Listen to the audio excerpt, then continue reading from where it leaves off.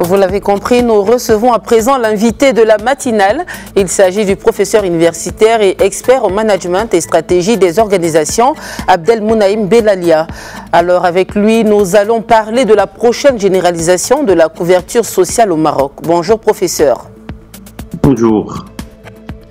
Alors le Maroc entame la, réforme, entame la, réforme, du système de couverture sociale qui sera progressivement généralisé à toutes les couches sociales.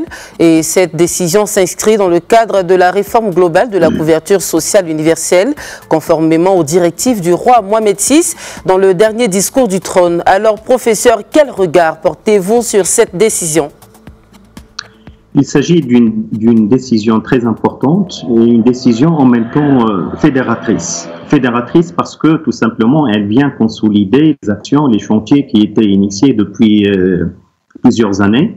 Je cite l'initiative nationale développement humain en 2005, le RAMED avec la généralisation en 2012. Donc aujourd'hui, cette décision royale vient donner euh, en quelque sorte une, ben le, ben le signal pour euh, un chantier global et un chantier qui va pouvoir intégrer tous les Marocains dans la couverture sociale.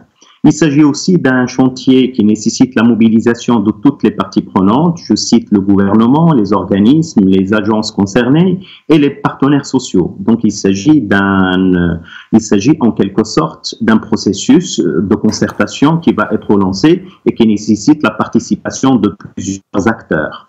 Troisième point, c'est qu'il s'agit d'une décision aussi qui intervient sous forme d'une feuille de route.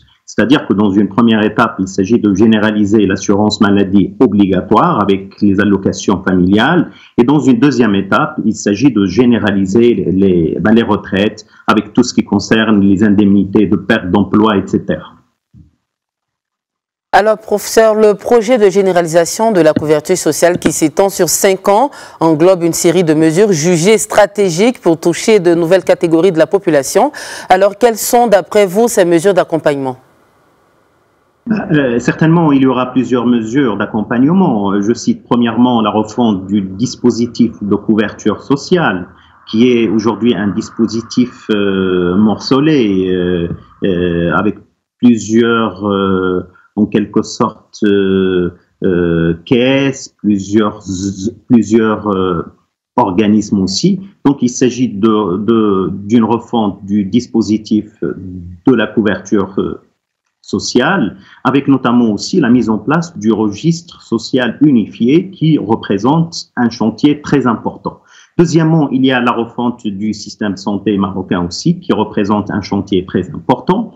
L'adaptation du droit du droit du travail euh, pour pouvoir permettre aux travailleurs de bénéficier de conditions sociales euh, favorable. Il y a aussi la structuration des caisses ben, de, ben, de, retraite. On sait, très bien qu'il s'agit d'un chantier très important euh, qui nécessite beaucoup de travail, de telle sorte que les caisses soient unifiées euh, avec le même fonctionnement. Il y a aussi euh, comment pouvoir harmoniser donc entre les prestations de la CNSS et la CNOPS. La CNSS ben, pour les travailleurs dans le, dans le, dans le secteur privé et la CNOPS ben, pour le public. Euh, là aussi, il s'agit d'un chantier très important, avec aussi la réforme fiscale. On sait tous que euh, pour qu'on puisse pouvoir généraliser la couverture sociale, on doit pouvoir aussi permettre une réforme fiscale de telle sorte qu'il y ait une contribution professionnelle unique pour toutes les catégories professionnelles.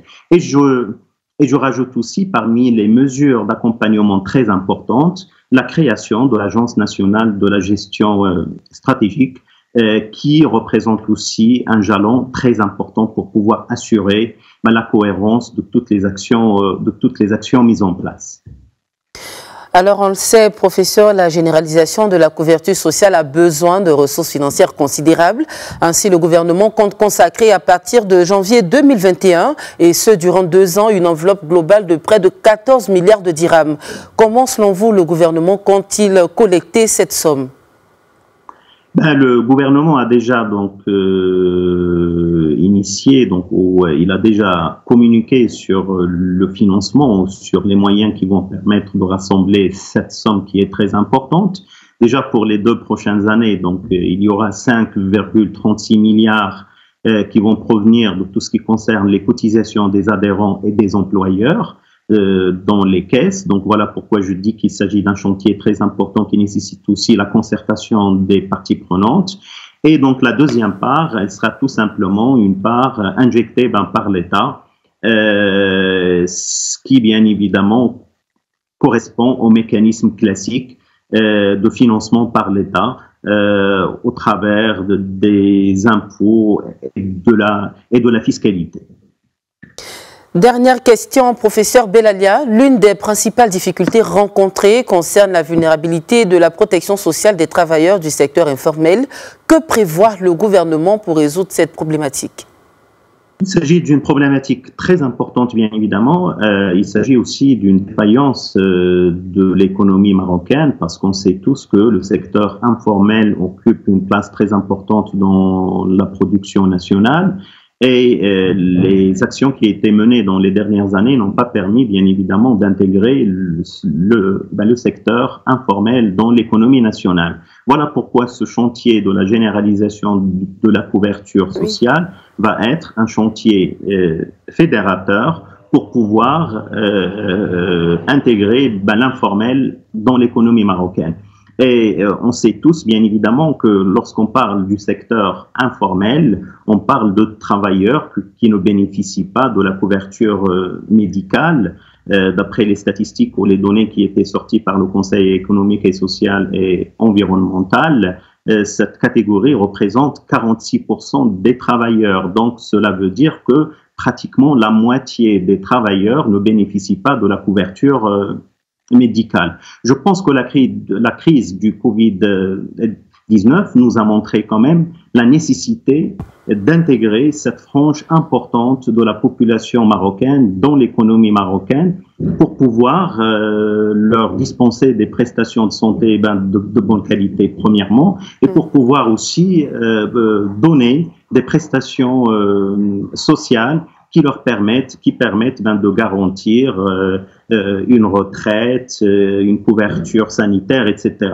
Voilà pourquoi je, je pense qu'aujourd'hui, le moment est venu pour ce méga projet de la couverture sociale qui va permettre de rassembler toutes les parties prenantes autour de la table pour assainir la situation de plusieurs organismes et pour aussi unifier, rassembler et fédérer l'effort afin, afin que tous les Marocains bénéficient d'une couverture sociale.